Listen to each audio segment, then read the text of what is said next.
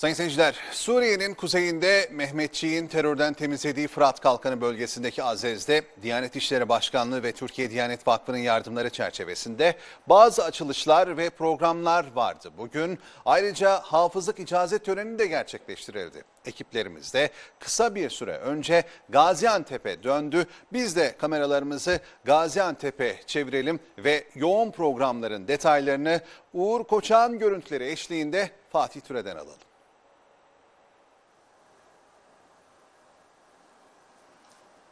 Evet, Diyanet İşleri Başkanlığı ve Türkiye Diyanet Vakfı Suriyeli ihtiyaç sahiplerinin yanında olmaya devam ediyorlar. İşte bu kapsamda gerçekten bugün çok önemli ve güzel program icra edildi ve burada Diyanet İşleri Başkanlığı yetkilileri gerçekten çok önemli programlara şahitlik ettiler ve biz de onlarla birlikte gün boyu bu programları izledik. Öncelikle Kilis Valiliği ziyaretin yapıldı. Daha sonra da Öncü Pınar sınır kapısında yani sınırın sıfır noktasında Türkiye Diyanet Vakfı'nın lojistik merkezinde incelemelerde bulundular ve burada gerçekten çok önemli bir hizmet icra ediliyor. Onlara hemen kısaca anlatmak istiyoruz.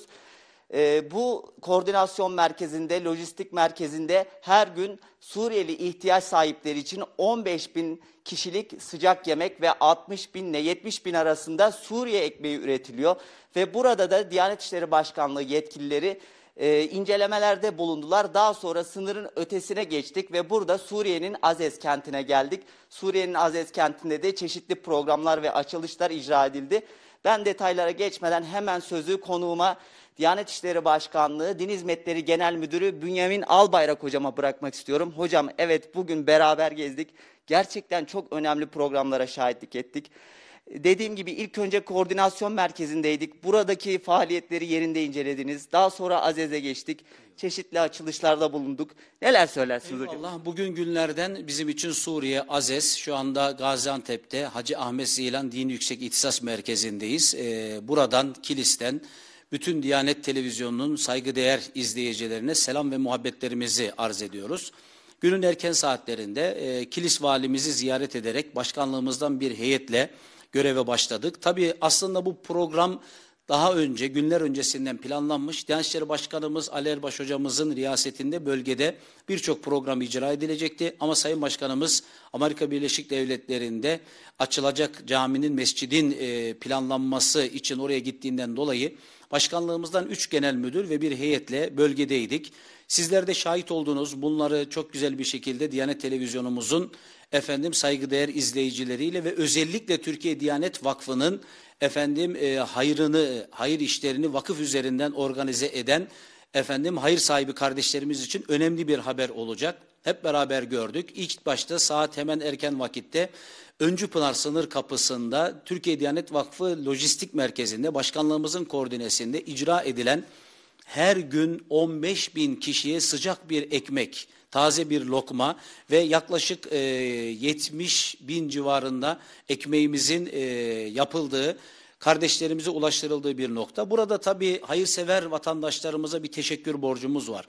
Hem Türkiye'mizden, aziz milletimiz hem alemi İslam'dan bütün müminler Türkiye Diyanet Vakfı ile partner kuruluş olarak yardımlarını bölgeye ulaştırıyorlar ve biz de emanet edilen bu yardımları en güzel bir şekilde, en güvenilir bir şekilde, en sağlıklı ve nitelikli bir şekilde ihtiyaç sahiplerine ulaştırıyoruz.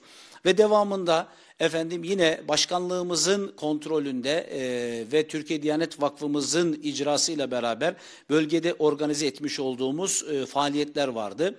Biz Suriye'deki Barış Pınarı, Fırat Kalkanı, Zeytin Dalı Hareket Bölgesi'ndeki kardeşlerimizin dini hayatına, din eğitimine, din hizmetine ve dini yayınlar alanına bir de insani yardımlar alanına rehberlik etmeye katkı sağlamaya çalışıyoruz ve bugün Azez'de bir külliye elhamdülillah hayat buldu. Burası çok önemliydi bizim için. Bu e, bina içerisinde bir müftülük var. Hemen altında yine Türkiye Diyanet Vakfımızda çalışıp rahmeti rahmana kavuşan Yunus Savaş kardeşimizin adına yapmış olduğumuz 4-6 yaş grubu Kur'an kursu var. Türkiye'de müftülükler bünyesinde oluşturduğumuz aile ve dini rehberlik bürosu bu külliye içerisinde yer aldı. Bir camimiz var.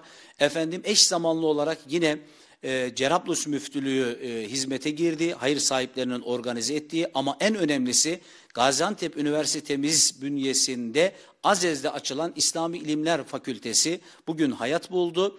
Bizim bir gayemiz var. Buradaki kardeşlerimizi sahih bilgiyle, doğru bilgiyle, doğru kişi ve kuruluşlarla, doğru yöntem ve metotlarla Suriye halkını buluşturmak. Çünkü bu insanlar gerçekten çok acı çektiler. Savaşın sıkıntılarını zaten sıfır noktasına karşıya geçtik. Hep beraber gördük. Elhamdülillah aziz milletimizin gayretleriyle, bütün Müslümanların samimi destekleriyle en azından bir hafifleme oluşuyor, oluyor. Bu insanları dini istismar eden yapılardan kurtarmak için ayet ve hadisleri bağlamından koparıp hayat veren bir dini hayatı sonlandıran yapılar, DAEŞ, IŞİD ve benzeri yapıların elinden gençlerimizi kurtarmak için elhamdülillah biz bu faaliyetleri organize ediyoruz. Malum devamında hep beraber bir hafızlık cemiyetine iştirak ettik. Yaklaşık 289 hafızımız vardı. Bunun 191 tanesi kız çocuğuydu. Bu kızlarımız yarının anneleri, öğretmenleri, muallimleri, burada vaizlerimiz olacak, Kur'an kursu hocalarımız olacak. Biz Türkiye'de Diyanet İşleri Başkanlığımız, müftülüklerimiz, müftülükler bünyesindeki aile, gençlik, 4-6 yaş, Kur'an kursu gibi hangi faaliyetlerimiz varsa bir iz düşümünü buralarda gerçekleştirmeye çalışıyoruz ve elhamdülillah bu hafızların bu yıl içinde 600 civarında hafız yetişti. 300 kadar daha hafızı bekliyoruz ve bunlar kıraat din kıraat merkezlerinde şu anda 1040 kişi burada eğitim görüyor.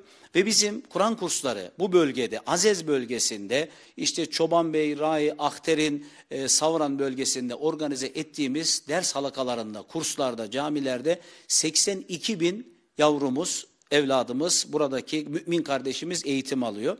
Ben bu fırsat, bu vesileyle Türkiye Diyanet Vakfı, Diyanet İşleri Başkanlığı ve Diyanet Televizyonumuz vesilesiyle bu hayırlı hizmetlere katkı sağlayan, destek veren, bize yardım e, ve hayırlarını emanet eden aziz milletimize, bu hayırlı hizmetlerde koşturan kıymetli arkadaşlarıma, vakfımızın çalışanlarına, emeği geçen bütün kardeşlerime teşekkür ediyorum. Çünkü e, milletimiz bize güveniyor, Türkiye Diyanet Vakfı'na güveniyor, emanetleri bize teslim ediyor. Biz de bu emanetleri en güzel, en güvenilir bir şekilde kardeşlerimize ulaştırıyoruz.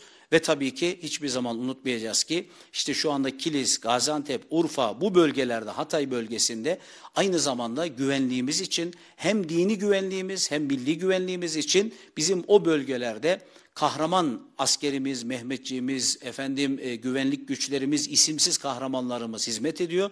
Biz de Diyanet İşleri Başkanlığı, Din Hizmetleri Genel Müdürlüğü ve bütün personel olarak milletimizin manevi hayatına rehberlik etmeye, ihya etmeye, inşa etmeye çalışıyoruz. Bu hayırlı hizmetlerde Allah cümlemizin yardımcısı olsun. Çok teşekkürler hocam verdiğiniz değerli bilgiler için. Çok sağ olun diyorum.